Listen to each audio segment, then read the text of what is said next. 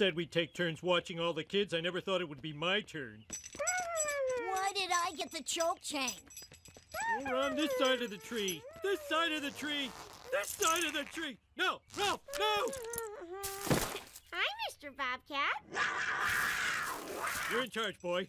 Now listen, Bobcat. Are you as sick as I am of having grown-ups everywhere you go? Mm-hmm.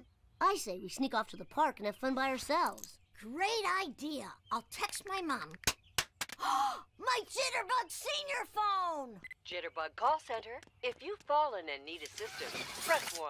If you're lonely and want to talk, press disconnect.